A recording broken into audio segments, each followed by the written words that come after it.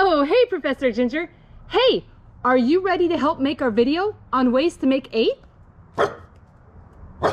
All right, well, we're gonna play a game, but we need two players for this game. So why don't you go and get Axle, and then I'll tell both of you the rules. Great job, Ginger. Hey, Axle. All right, guys, we're gonna play a game. And in this game, you are going to get eight counters, just like the number eight in the hole there. Now, each counter has two colors, a yellow side and a red side. You're going to shake the counters up and drop them on the table. And we'll look to see which colors are face up. We'll count the colors that are face up, put them on the number bond, and find the way that you made eight. What do you say? Are you guys ready to play? All right, let's go. All right, Axle. Okay, Ginger, there are the counters there in the middle of the table. You guys are going to take turns grabbing those counters and dropping them on the table. I think Axle wants to go first. Let's go.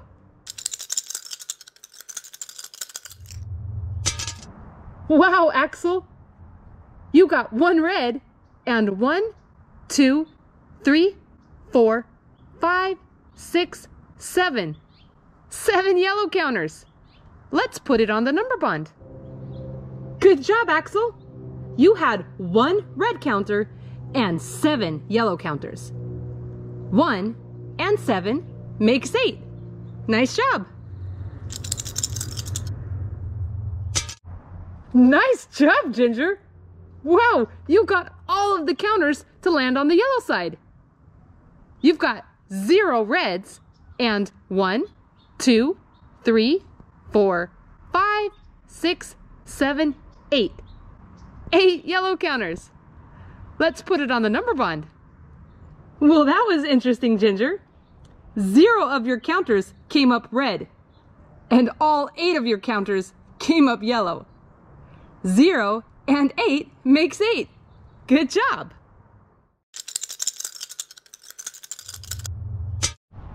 Okay, Axle, you got two red counters and one, two, three, four, five, six.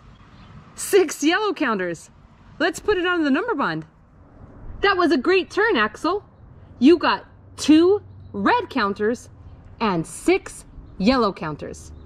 Two and six makes eight. Way to go.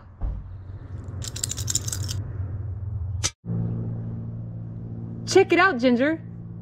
You got one, two, three, four, four red counters, and one, two, three, four. Four yellow counters. That's a doubles fact. Let's put it on the number bond. Hey, Ginger, you got a doubles fact. You got four red counters and four yellow counters. Four and four make eight. Nice job. Good job, Axle. You got one, two, three, four, five. Five red counters and three yellow counters. Let's put it on the number bond. All right, Axle. On that turn, you got five red counters and three yellow counters. Five and three makes eight. Nice job.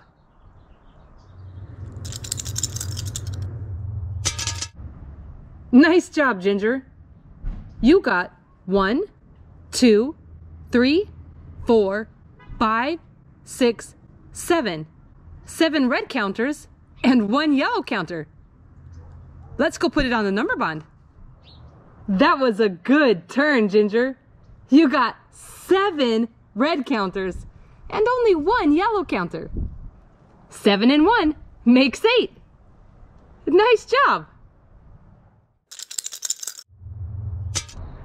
Way to go, Axle.